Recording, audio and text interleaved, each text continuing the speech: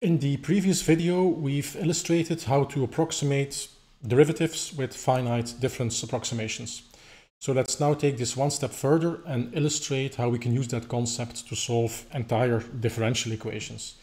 And in order to keep things very simple so that we can focus on the most essential part, let's keep a very let's have a very simple example of a differential equation. Let's have a 1D wave equation, 1D Helmholtz equation um, with even a constant refractive index. So k here is a constant number.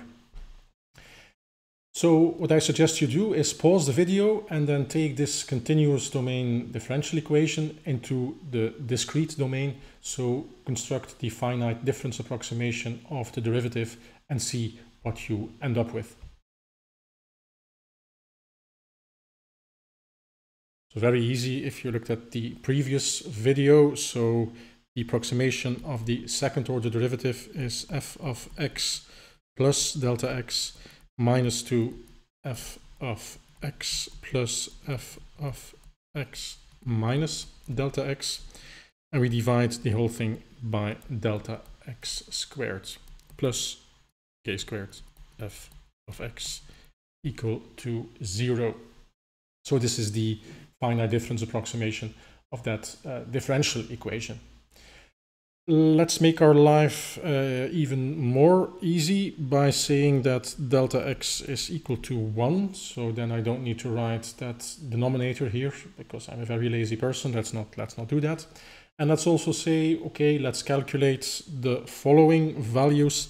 Let's say we're interested in the fields at the points uh, x equal to 1 up to and including x equal to 5. So these are the five field values that we need to calculate. However, bear in mind that this is a second order differential equation, so we need some sort of boundary conditions. We need to know what the values at the beginning and at the end are. So let's say that we know that f at the point 1 is equal to a certain value f1 and something similar for the end uh, value here, f5.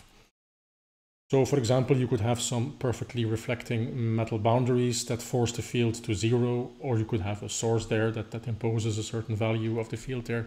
But let's have a very simple case where we have boundary conditions that look like, uh, like this.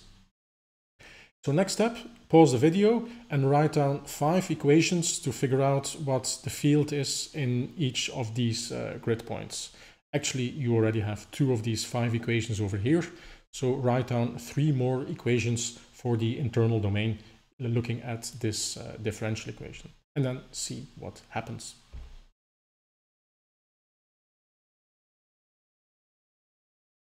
Okay, first equation is a piece of cake. We already have that. We have at the point 1, we have f1 is equal to f1. And now let's take that equation and evaluate that at the point x equal to 2. So then we have f of 1 minus 2f at 2 plus f3. This is basically this here where we have x equal to 2 and then plus k squared f2 equal to 0.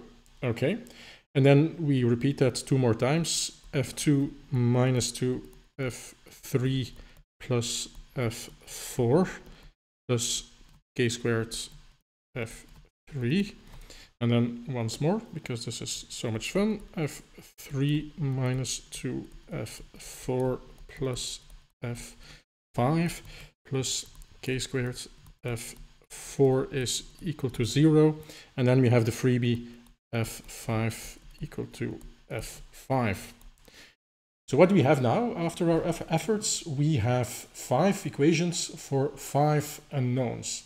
And that sounds very linear algebra-like, so that's something we can solve um, using standard linear algebra techniques. And indeed, let's write that as a matrix to bring that out more clearly.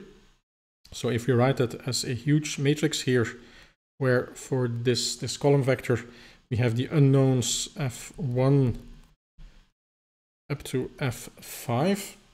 And then for the right-hand sides, we have them over here. So it's mostly zeros apart from at the beginning positions. So we have f1 and then three zeros and f5.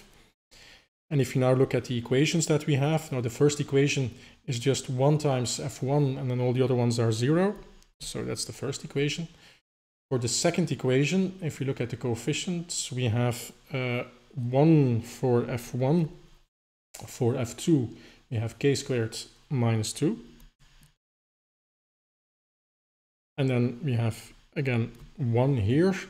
And then the pattern repeats 1 k squared minus 2, 1, 1, k squared minus 2, 1. And then for the final equation, we only have a term in f5, so that's another 1 over there. And all of the other guys are uh, 0. So here we have it. This is our linear problem. We have a matrix A times a vector of unknowns equal to a known right-hand side thing. So now we have something that we can solve using your favorite linear algebra package, and you can indeed get a value of x uh, out of that. Now, bear in mind that even if you solve this thing very exactly, that uh, the end result here, the x that you get out of that, will only be an approximation of the full continuous problem, because you will always make an error by virtue of doing this approximation thing here, by virtue of not calculating the fields everywhere, but having a certain value of delta x. So if you want to decrease that discretization error, you just take smaller steps, smaller grid size, uh, but the price for that, of course, is higher computational cost.